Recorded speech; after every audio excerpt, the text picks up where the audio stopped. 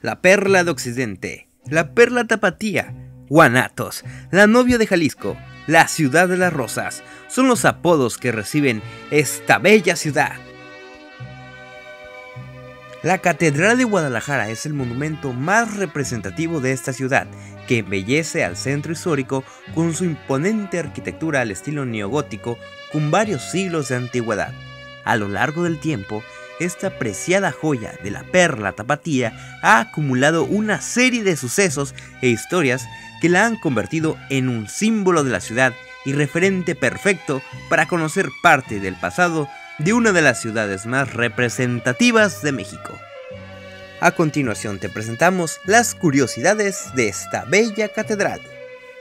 Una de las historias de mayor misterio que ha girado en torno a la catedral son sus túneles secretos, que fueron utilizados durante la época de la Revolución Cristera como escondites y salidas de escape.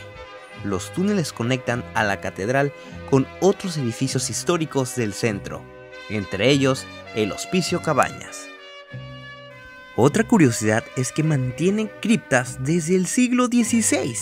En la parte subterránea de la catedral se encuentran las criptas con los restos de obispos mexicanos, incluyendo el último que fue el cardenal Juan Jesús Posadas Ocampo.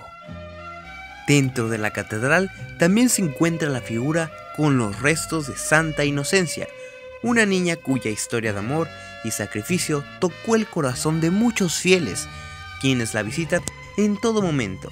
Una historia aún más asombrosa que la de los túneles es la del cauce de un río subterráneo que atravesaba a la catedral y gran parte del centro. Quienes conocen este mito aseguran que en el interior del templo existía una puerta que llevaba hasta las orillas de este cauce ahora extinto. Sus torres no son las originales.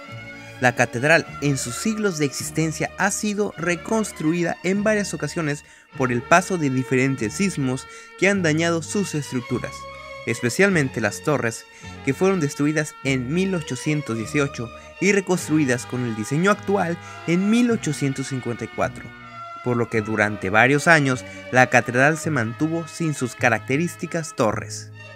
La antigua catedral tenía un atrio al frente que hacía su fachada aún más extendida, adornada con un pequeño jardín. Actualmente, la acera de la avenida Alcalde pasa por aquí. Actualmente la catedral continúa en peligro de colapso ya que por las constantes vibraciones que generan los miles de vehículos que atraviesan por el túnel de la avenida Hidalgo, su torre norte presenta un ligero hundimiento e inclinación. No obstante, si a esto se le agregan las afectaciones que tendrá por el paso subterráneo de la línea 3 del tren ligero, podríamos hablar de un riesgo mayor. Son muy pocos los zapatíos y visitantes que se han percatado de que el centro histórico de Guadalajara está conformado por una enorme cruz cuyo centro es la Catedral Metropolitana. Pero dime, ¿tú sabías de estas curiosidades? Y yo soy Gualberto Mendoza, espero que hayan cultivado su curiosidad. Con esto concluimos. No olviden seguir nuestra página de la Repepena para más contenido interesante. Hasta la próxima.